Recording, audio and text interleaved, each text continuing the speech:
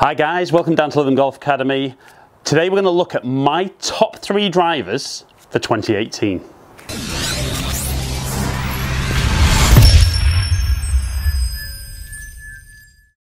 Right then guys, so if you're new down to the channel, welcome to Ali Taylor Golf.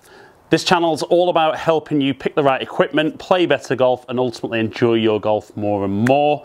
But if you're new to the channel, click the subscribe button, ring the notification bell, make sure you get my videos as soon as they drop.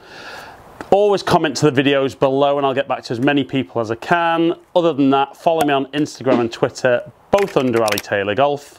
But for now, let's get on with what were the top three drivers for me personally in 2018. Right then guys, so there were obviously lots and lots and lots of drivers out in 2018.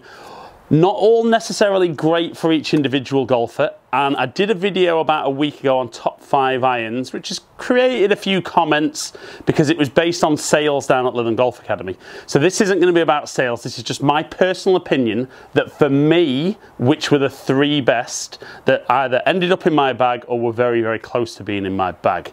And in third place was the PXG 0811X. So low spinning head, but obviously got the adjustable weights in the bottom. And even though this is low spinning driver, I actually kept the weights a little bit more towards the back on this. Otherwise I didn't generate enough spin, but very, very clean. Not too much visible tech, just a great looking driver. And we'll see from the shots coming up, something that really, really performed well for me. Right then guys, so like I said, in at number three, the 0811X. Surprised me, to be fair, because I thought start of the year that I'd really want to see something, or feel something exceptional from this. I think it just, it, it looks great, it's not flashy, but love the look of how simple it looks behind the golf ball. And like I said, then it's all about performance. Good solid strike not a huge amount of shape on that. And anything that's getting out that kind of 290 to 300 yards for me is pretty decent. I will stress that we're in between Christmas and New Year, so it's not as cold as normal in the UK, but it's certainly not summer-wise, so I'm not going to be swinging at my very quickest. But I still think, you know, this driver gives really, really good performance. It feels incredible. And you can be very, very fine with how you move those weights around. Ha definitely higher price point than a lot of the drivers on the market.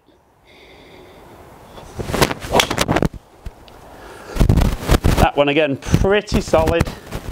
Just turning over a little bit. About the same carry, I'm going to get out there between that 290 and 300 again. Let's go one final one with the PXG.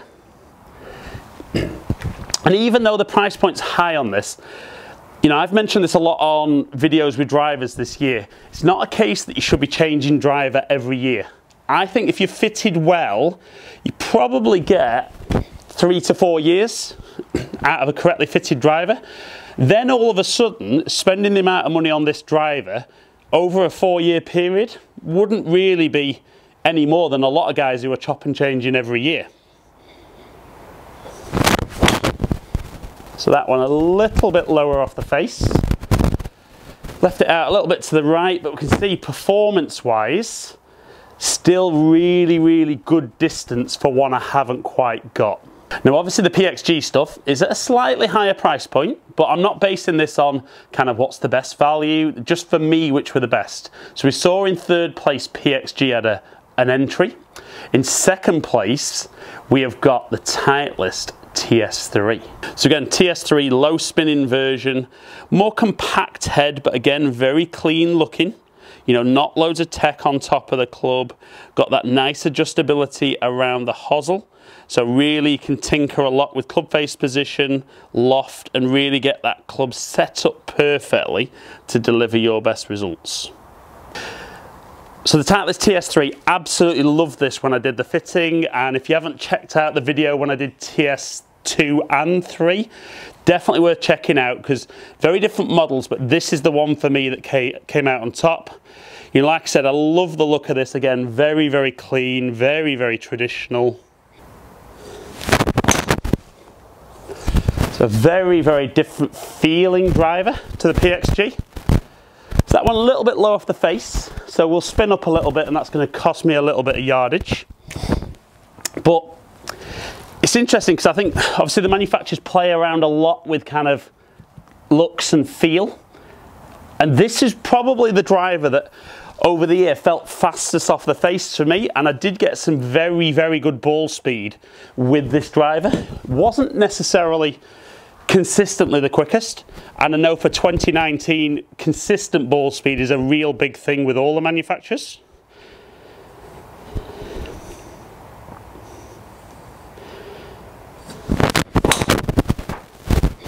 That's more like it.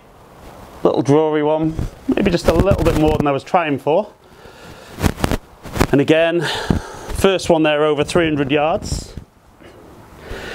which is very much what I saw. I mean, my spin was perfect there, kind of 1800 spin. Maybe if anything, just very, very slightly towards the toe, but a good solid strike. Ball speed was up there just under 160. One final one with the TS3. Again, good strike. Very, very straight for me. And that's big. Another one over 300 yards. So you can definitely see from those shots there as to why TS3 nearly got in my bag. And this is one that's come out in 2018 that carries over into 2019. So this is definitely going to, I, I, would think, appear in my best of 2019 and it'll be interesting to see how this performs against the other manufacturers' new products moving into the new year. But let's see what my number one driver was. And to be fair, TS3 was incredibly close to going in my bag and, and still may end up going in my bag. But my number one driver for 2018 was the Callaway Rogue Sub-Zero. So love this driver, got some great performance. Obviously jailbreak technology, so not completely new technology anymore, but still in the Rogue. Got the weight up near the face. Again, got that adjustability around the hosel, so can really change it up and down in loft, down a degree, up, up to two degrees. Obviously move that club face position around for shaping of shots as well. Still fairly traditional on top, little bit of visual tech, but like the other two in my top three, very traditional looking, very clean looking from the top. But my number one driver, the Callaway Rogue Sub-Zero. So guys, if you've watched my What's in the Bag, it wasn't a big surprise, was it, to know that this was my number one driver? Like I said on the close-up of the head, you know, I love the look, hitting the shots. This has performed really well for me. It's been very, very workable all year. But let's hit some and see if we can get them past that TS3. Or will there be a very, very late change to what's in the bag?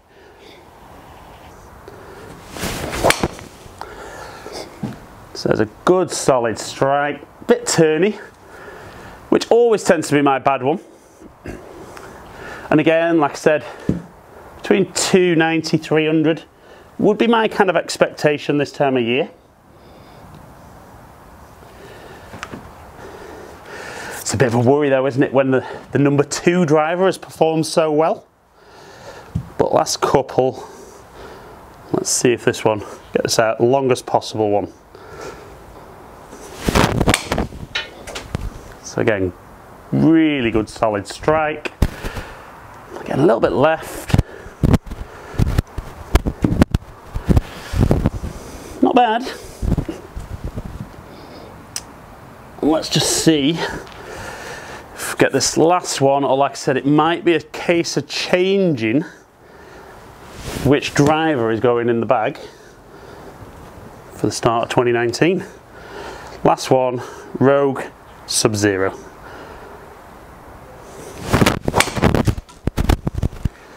Get another really good solid strike, almost identical, just a little bit longer,